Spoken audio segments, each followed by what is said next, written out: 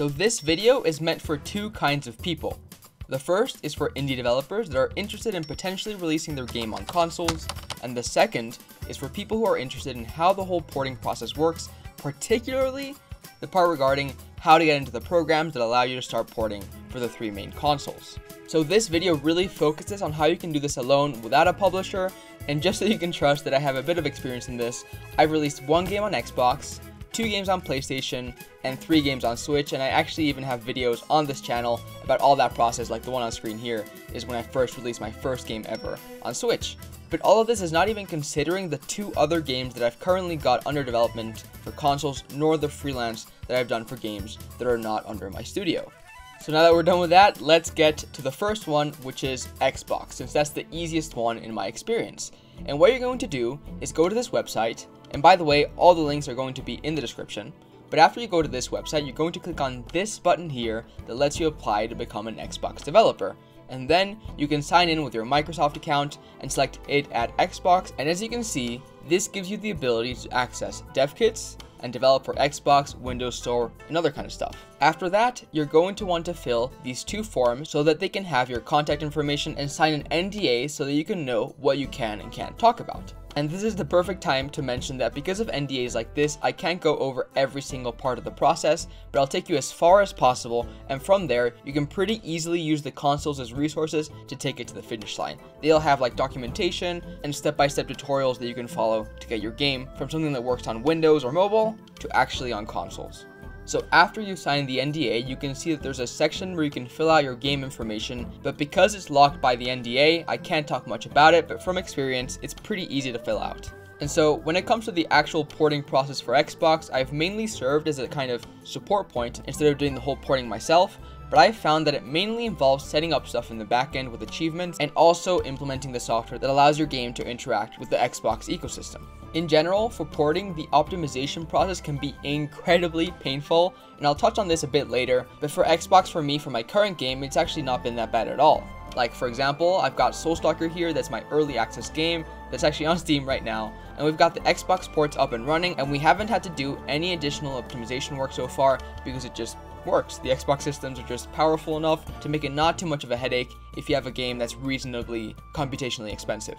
Now, the next platform is actually the complete opposite from Xbox in my opinion, and it's the one that is the most complicated, and that is PlayStation. And that's pretty surprising, isn't it? Most people seem to think that Nintendo is the hardest one, and that is true for the optimization side because the Switch is a handheld, but for all the backend and dev kit stuff, PlayStation, in my opinion, is by far the most complicated. And so to start the process for this one, you'll have to go to this website and click on the Join Us Now button. Then you just select your region, and given that this video is all about porting your games, I assume you'll want to click on the game publishers and developers option as well. Then you'll be given a list of all the stuff you have to provide to go forwards, and it's mostly pretty simple, like you'll have to put your contact details and provide a game design document and stuff like that, but there are three main things that really stick out. The first one is the most complicated one and the one that I constantly get asked about when friends start this application process, and that is the static IP address that they mention here in this section. It's a bit tricky, and they ask you to put it in this format, but basically a static IP address, which can sometimes be called a fixed IP address, it's an address that never changes and it's used mostly for security reasons and there are multiple ways of getting one, but it depends a bit on where you're located, and the most straightforward one, and the one that is available in most places, is just to reach out to your internet provider and ask about it to see what they offer.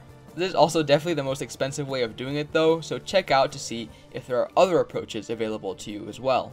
And so out of those three things that stuck out, the second one is that PlayStation requires you to have a registered company because they ask for registration documents. And this may be scary to some, but you may notice that they also allow sole traders to register as developers. And again, this depends a bit on the country you're from, but a sole trader is basically someone who works for themselves without a company, so someone who's like self-employed like a contractor.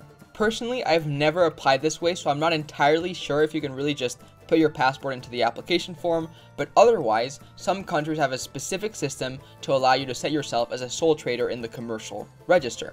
Like for example, I live in Switzerland and while I don't run my studio this way, I could set up as a sole trader in the commercial register through this website here, so if it doesn't let you through with just your passport, try to look into how that works for your country. And so finally, the last of the three sticking out points for the PlayStation application process is that you need to have an email with a custom domain, so they don't allow any Gmails, Hotmails, or Yahoos or anything like that. And this is pretty annoying for many since it's just an extra hoop and an extra bill to take care of, but that's just how it is and it's an additional thing to keep in mind.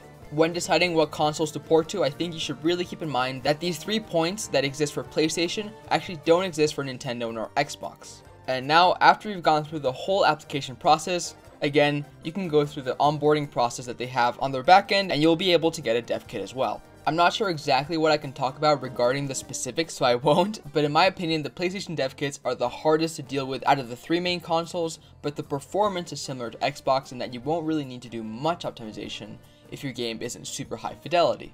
And now, finally, we're at the Switch. And this was the first console I ever worked with, and while some things are a bit hard to deal with, I think the whole process is a lot closer to the friendliness of the Xbox process as opposed to the PlayStation process. And so to start out, you'll have to go to this website and click on the register button and create an account.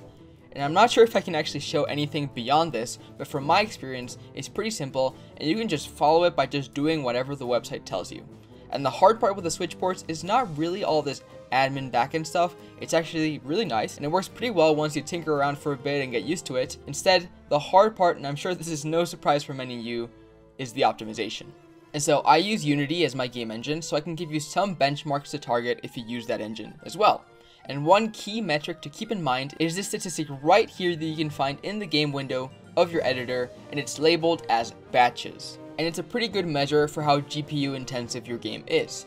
And in short, if you're hovering around a thousand batches without having busted yourself optimizing the game, then your porting process might actually be not that hard at all because the GPU is the hardest part and around a thousand is pretty easy to get down to maybe 500 for most games if you haven't really optimized it yet. Like for context, this is the port that I did for SynthBeast. It's not out yet, but it's a port that I did just for testing the viability of the performance. And so by default, the game runs at about a thousand batches or so. And I made a special setting that made it run at 300 to 500, and it ran at about 45 frames per second at handheld mode in full resolution. So it wasn't that bad, all because the game is naturally not that intense. Then another huge aspect of the Switch is that it's actually pretty slow at switching between scenes if they have a lot of objects. So if possible, try to design your game such that the scenes are either not that big, or if they are, design them in a way that you spend a good chunk of time in them so as to not trigger long loads very often. And then another thing to consider is that textures take an incredible amount of space. At least in my games, they're the number one contributor to disk size, and for many other developers that I've talked to, it seems to be the same.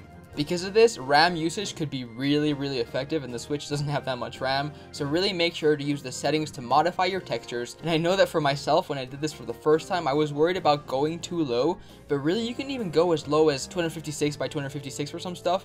It doesn't look as bad as you might imagine because of the resolution of the Switch, so try to tinker around and see how that looks. So that's basically everything I'm able to tell you about how to start becoming a console indie developer because of NDAs, and I hope the video was useful. And not too long ago, I released Soul Stalker, which is the game that I showed as an example in parts of the video, so if you want to check it out on Steam, you can get it in the link below, and if you get it together with my other game, Wanted Shadows, you can get them together for just $5.70, which is crazy cheap, and they won't be that cheap on consoles, so do that if you want to support me and the games that I make with my studio. And just as a side note, Soul Stalker will be coming out on console in the first half of this year, thanks to the porting that Tim from Origami Panda Studios is doing for the game. So subscribe if you want to see more about that in the near future, and if you've never made a game before and you're interested in learning how to start so you can apply all of this that you've learned in this video, click on the video on the screen. And that's all for this week's video, and I'll see y'all for the next one. Bye.